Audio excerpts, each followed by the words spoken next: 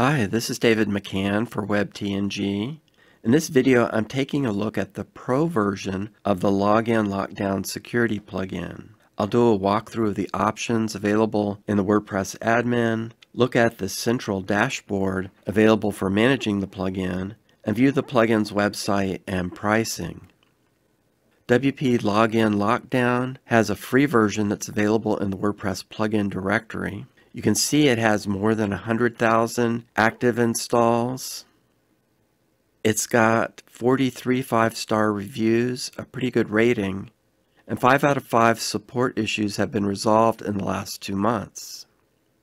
The plugin's being developed by Web Factory, but originally it was added to the WordPress plugin directory way back in 2007 and it was doing well for many years until recently the original author was no longer able to keep it up and Web Factory took it over. When they took it over, they did some quick fixes to bring it up to date, and then they've developed a pro version. And it's the pro version that I'm going to take a look at.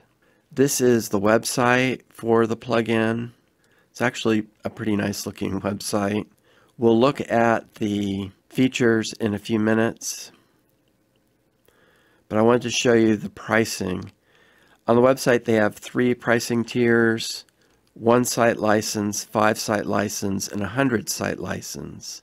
And it's being introduced with lifetime packages. And in addition to the number of sites, there's another difference in the packages. When you move up from the lowest tier to the middle tier, you get a white label mode where you can hide their branding. And if you go up to the highest tier, then you get the option to rebrand the plugin to give it your own logo and name. Now, when you purchase the plugin, you get access to this online dashboard. If you've used any of the other Web Factory plugins, you might be familiar with this. It's a pretty good convenience. In addition to being able to download the plugin, you can look at your purchases, you can manage your licenses. If you have the highest tier, you can rebrand the plugin. You can manage the websites that the plugin is installed in. You can block the site. You can reset the plugin and sync the stats.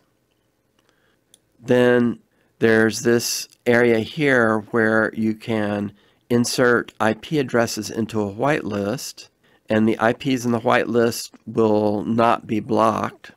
Or you can also insert IP addresses into the blacklist and IPs in the blacklist will not be able to access any of your websites. So this is for all of your websites using the Login Lockdown plugin. So you have your own kind of global whitelist, blacklist. Here you have your user profile, support, and then documentation. And these are the help articles that they have created. Currently, while making the video, the Login Lockdown plugin is available on AppSumo. In a month or so, it may no longer be available here. Okay, if we look at the plans, Again, we see that there are three tiers. However, the tiers are a little different. The lowest tier is five websites.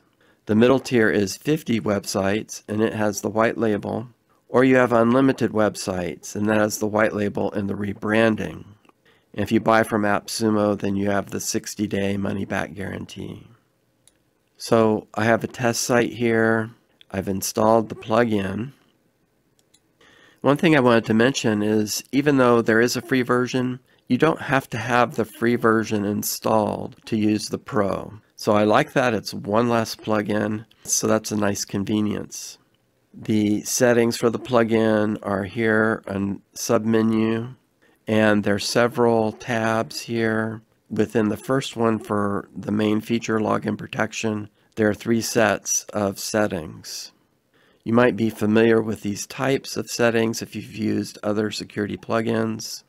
They're the number of retries someone has before they get locked out, the period of time where the retries are counted, how long they're locked out for, whether you're going to log login attempts when people use non-existent usernames, whether to hide the login errors so that you don't give clues to people by telling them the user doesn't exist or that's a bad password, whether you want to completely block access to the website or only block access to the login page, the message, and you can add a whitelist here if you like. If you want to be nice to the developer, you can show a credit link. On advanced, you can test user passwords. So this can be convenient to make sure none of the admins on your site have a weak password. You can make the logging anonymous, which is what you want to do for GDPR. You can block bots from accessing the login page. So you can immediately block people who try to log in with a non-existent username. You can add a honeypot for bots.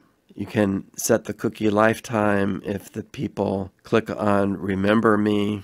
And you have the option to remove the tables that the plugin creates when you uninstall the plugin.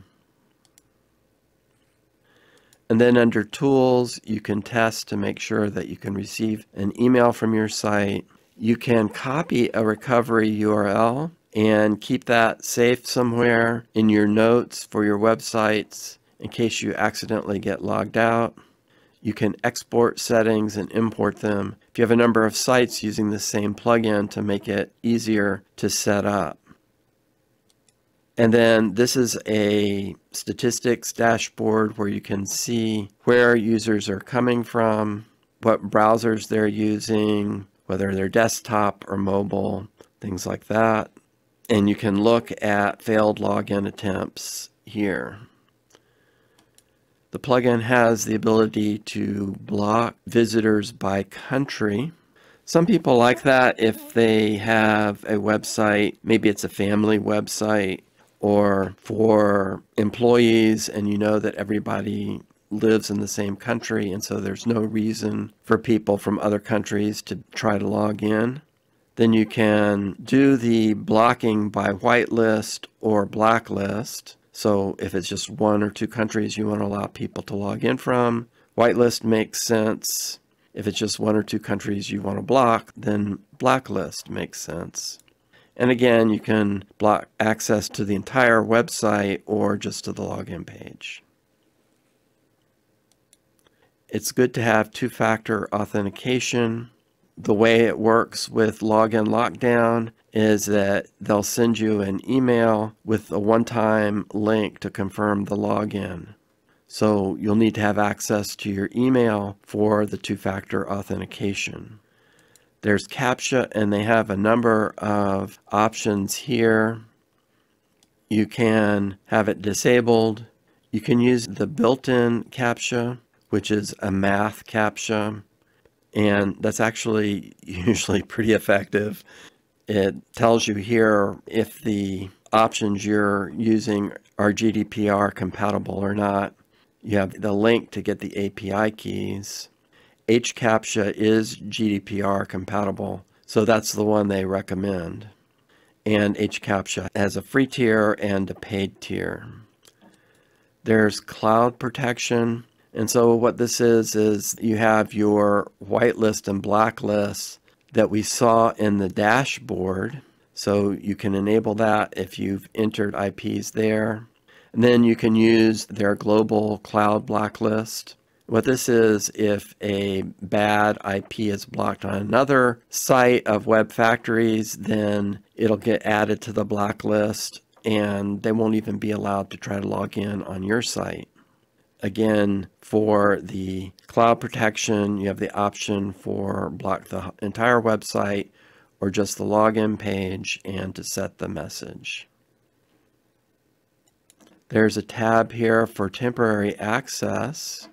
What you can do here, you know, this site has several users. You can give them a link to log in, or you can create a new user or a guest and give them a temporary link and you can set how long it's good for and how many uses.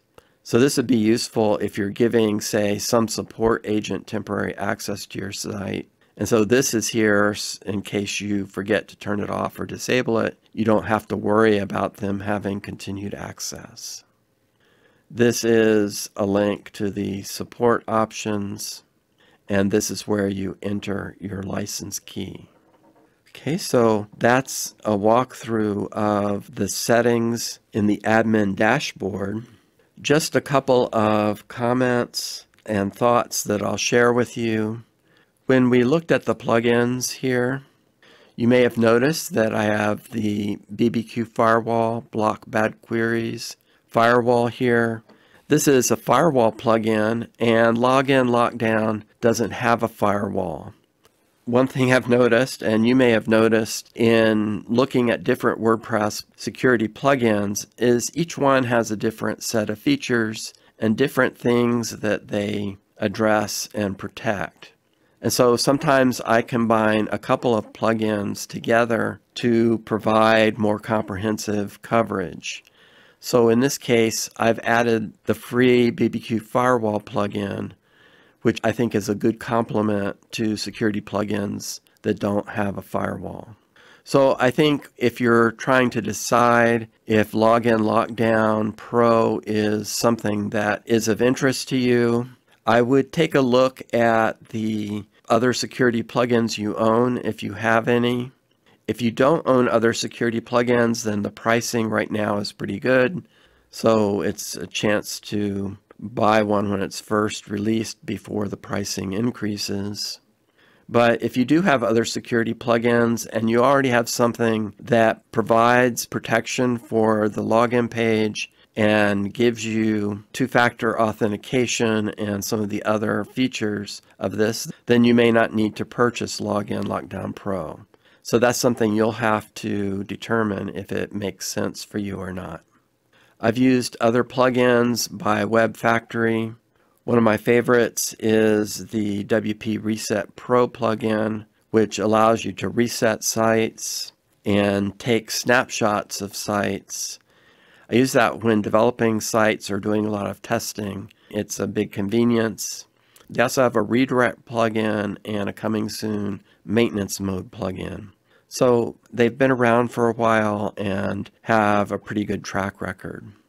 Okay, that's my look at the Login Lockdown Pro security plugin. There's a text summary of the video available on the WebTNG website along with other walkthroughs, reviews, and resources. I hope you liked this video, and if you did, please hit the subscribe button because it helps to spread the word about the channel. Thank you for watching.